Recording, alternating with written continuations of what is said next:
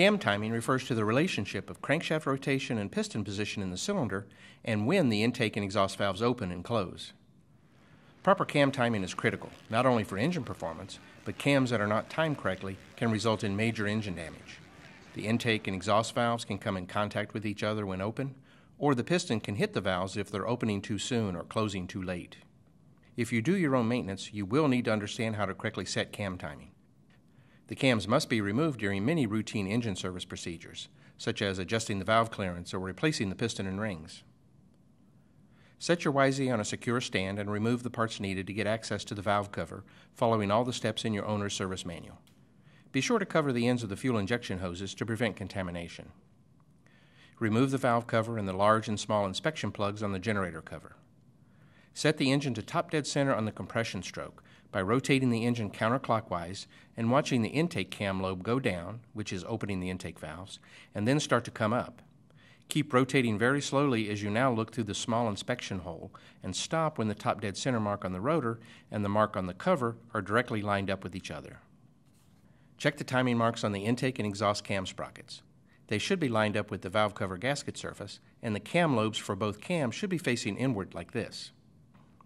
Now, if you're familiar with cam timing on regular engines, where the intake is at the rear, when these engines are at top dead center compression, the cam lobes are pointing outward, away from each other.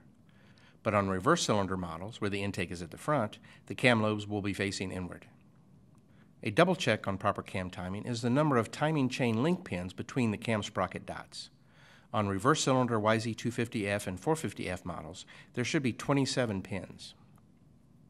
If you're checking valve clearance, which is called for at maximum every third race or seven and a half hours per the maintenance interval chart, follow the steps in the owner's service manual.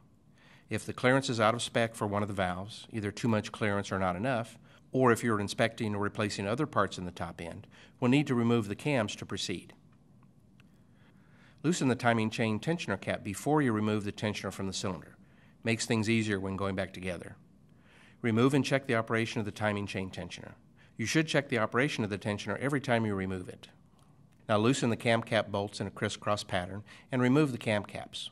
Watch for the half circle locating clips. Make sure they don't fall into the crankcase when you remove the cam caps. And account for the two dowel pins on each cam cap. Attach a long zip tie to the timing chain to help pull it up if it falls into the crankcase. And lift the chain off the cam sprockets and remove the cams. The timing chains on modern high performance bikes are under a great load, especially when racing we recommend closely inspecting the timing chain on the YZ250F and 450F every time you're checking the valve clearance. Pull up and support the chain so it doesn't bind on the crankshaft drive gear as you rotate the engine all the way around. Inspect each section of the chain, making sure each group of plates pivot freely and do not have excessive free play.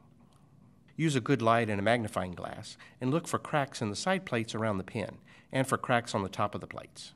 If you see any cracks or the chain has tight spots, replace it. A timing chain is not very expensive, especially compared to the damage caused by a chain breaking at high engine speed. Set the piston back to top dead center when complete. If you're adjusting valve clearance or replacing other top end parts like piston and rings, follow the steps in the owner's service manual. When you're ready to reassemble, apply a little motor oil to the pin and weight pivot for the exhaust cam auto decompression system, and double check the decompressor pivots freely and snaps back before you install the cam. Apply some Yamalube oil to the cam bearing surfaces and a very light coating of Yamalube molybdenum disulfide grease on the cam lobes. Lay the cams into their respective spots and fit the timing chain onto both cam sprockets. The goal when setting cam timing is this.